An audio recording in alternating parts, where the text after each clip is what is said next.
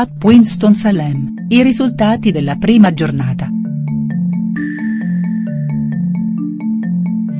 Mentre il bulgaro Grigor Dimitrov trionfava per la prima volta in carriera in un torneo Master 1000, successo a Cincinnati, battuto in due set l'australiano Nick Kyrgios, l'avvicinamento del circuito maschile agli US Open di New York si completava con il via all'ultimo appuntamento sul cemento a stelle strisce.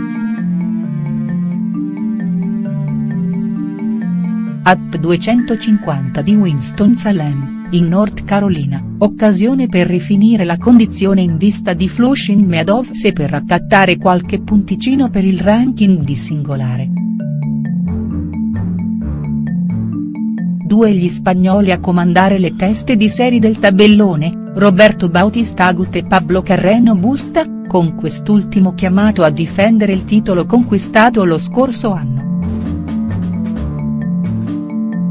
Ma la prima giornata è stata territorio di outsider, non dei primi favoriti del ranking, a riposo grazie a un bye al primo turno.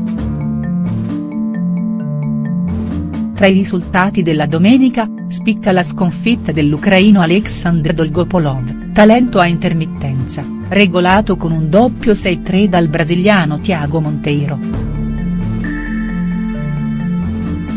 In campo anche due ciprioti, il giovane Petros Chrysochos, 21 anni e numero 1361 al mondo, e il veterano Marcos Bagdatis. KO. Il primo, piegato dal serbo Dusan Lajovic, avanti il secondo, qualificatosi al secondo turno in virtù di un doppio 7-5 inflitto al lituano Ricardas Berankis.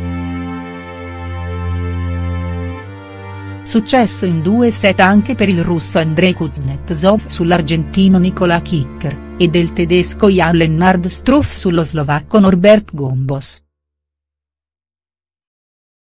Oggi in campo, tra gli altri, due azzurri, Andrea Seppi, impegnato contro il serbo Janko Tipsarevic, e Thomas Fabiano, opposto al britannico Kyle Edmund. I risultati della prima giornata di tennis a Winston-Salem. Lajovic, Chrysochos, WC, 6263. Bagdatis, Berankis 7575. Monteiro, Dolgopolov 6363. Kicker, Kuznetsov 5726. Struff, Gombos 763764.